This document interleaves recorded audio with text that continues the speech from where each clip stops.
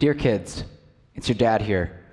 I know this may seem weird, me writing a letter to you when I could call or something, but I wanted to be able to tell my story to you.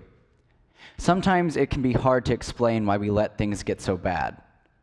You're living with your mom right now because it's safer this way than letting me drag you all down. I was a soldier in Iraq in 2003. I was in combat. There were some terrible things I saw out there.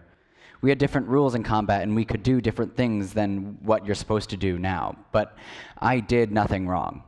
It was all for you guys.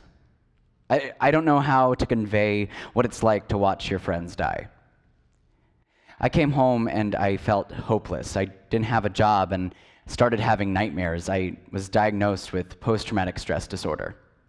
That's why your mom and I decided to have me leave for a bit. I needed to go get help, but I was unemployed and married with three kids and with PTSD, so I couldn't get a job. No one wanted me. I became homeless and I hid it for your mom for, uh, from your mom for a year. I lived out of my car. I saw a lot of veterans like me with PTSD and nowhere to go. We needed help, but didn't have access to the programs we needed. I tried applying to programs, but they lost my application three different times. It, it was like no one cared for me or the fact that I had a family.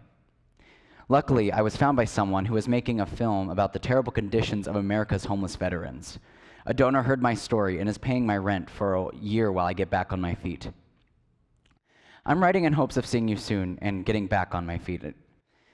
I love you so much, and I'm grateful that your mom has taken such good care of me, of you. When you're old enough, I will let you read this, and then maybe my story will have an impact on you. I hope it will inspire you to help others like me. Love you always, Dad.